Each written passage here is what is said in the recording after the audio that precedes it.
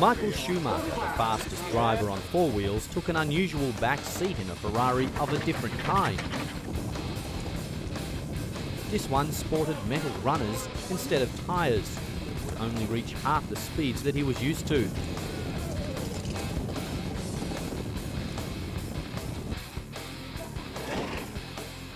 Emerging unharmed, Schumacher appeared to have enjoyed his race down the track. Taking the back seat, he was unable to understand the skill needed to maintain control as the sled violently shakes, steering the sled high enough to maintain speed, but low enough so as not to overslide the turn's end.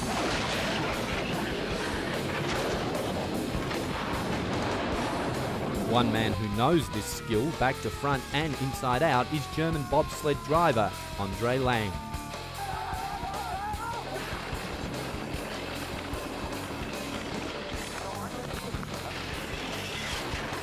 Andre started luge when he was eight, but in 1993 he realised he would never be good enough to pursue it at an international level.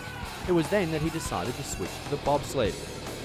By 1998, Andre had won the Junior World Championship in the four-man event. The result was a surprise to Andre himself, who didn't expect the speed to come so fast. Also in 98, Andre won his first World Cup race in the four-man event. His bobsledding career took off from there. While he spent the 98-99 season racing sporadically, he still managed to finish sixth, two-man and seventh in the four-man at the World Championships. The following season, Andre took no time in proving his skill on the track.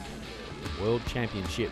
Andre won the silver medal in the two-man event and the gold in the four-man. In 2001, Andre was unsuccessful.